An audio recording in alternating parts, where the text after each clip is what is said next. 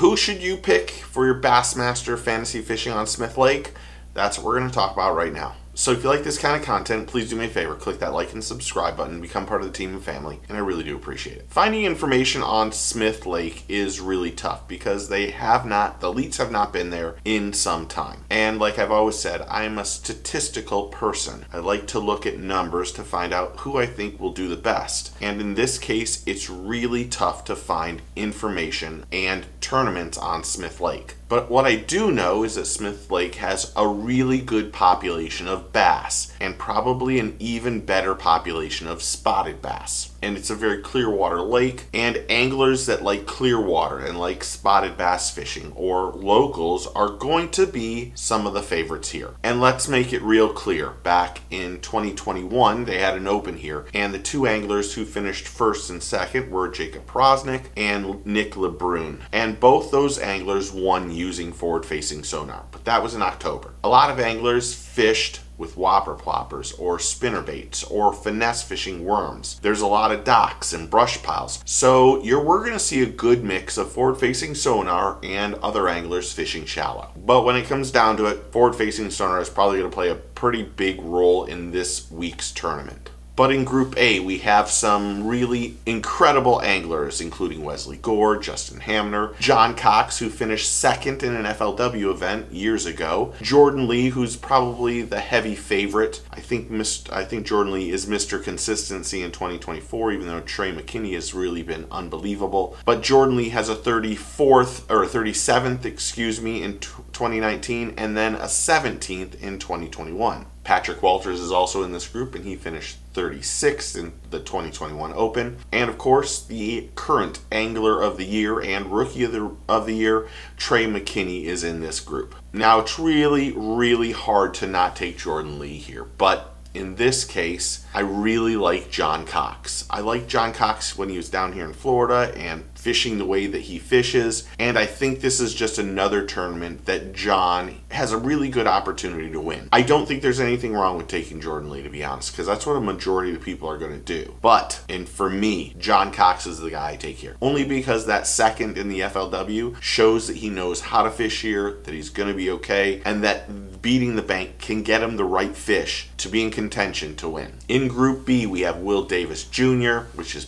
probably going to be the favorite. He is an Alabama angler. Brandon Palaniuk, who finished 26th in 2019. We had Wes Logan, who finished 120th in 2018, but is another guy that is in the mix uh, of people that we should look at. We have Justin and Justin Atkins, who finished 63rd in 2019 and then 18th in 2018 and Logan Parks, who's an Alabama guy. In this case, now I think a majority of people are going to take Brandon Palaniuk because he is just exceptional forward facing sonar and fishing beating the banks. But I think this is where anglers who are a local is going to have the knowledge of where those brush piles are or the good docks to fish. So Will Davis Jr. or Logan Parks is the two that I think are the favorites or should be looked at the hardest here. And for me, I'm going with Logan Parks. I just think he's just fishing really exceptional, and I like Logan here more than anyone. In Group C, you have Kyoya Fujita,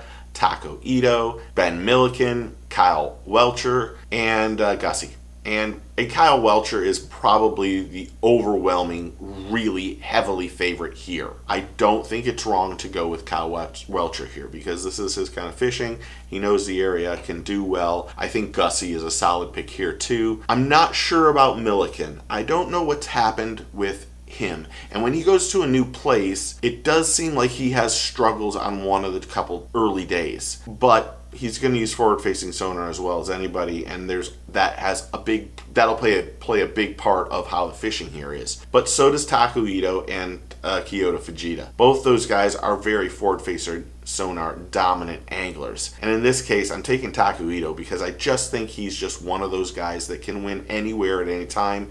And I think he'll find someplace offshore to use his, his sonar and will have a steady flow of decent bass, a decent spotted bass. And I like him in Group C. Group D has a few anglers that are really up there. David Gaston, Kenta Kimura, Joseph Webster, and Clark Wendlandt. Now Webster and Gaston are both Alabama anglers. Both should be put ahead of everybody else. I don't remember who's the favorite in this group, but I imagine but I imagine one of those two anglers that are from Alabama are going to be the favorites. This one was tough for me. I think you can go either way with any of those four guys. I think Gaston's good, Kimura's amazing, and I think Webster's good too. For me, I like David Gadsden here because I just think he's on a little bit of a roll, and I don't think he should be this far down. I say that every time I do one of these things.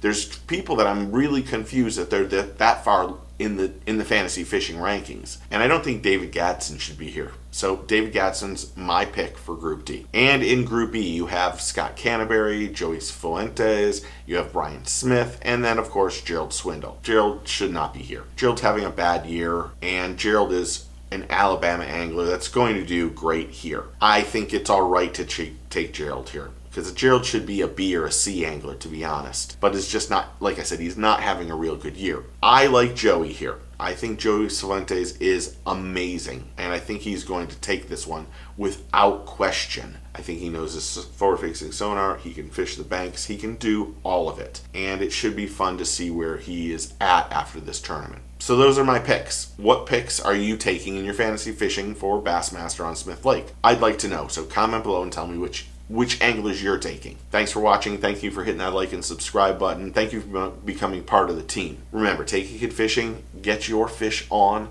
I'll talk to you soon. Cheers.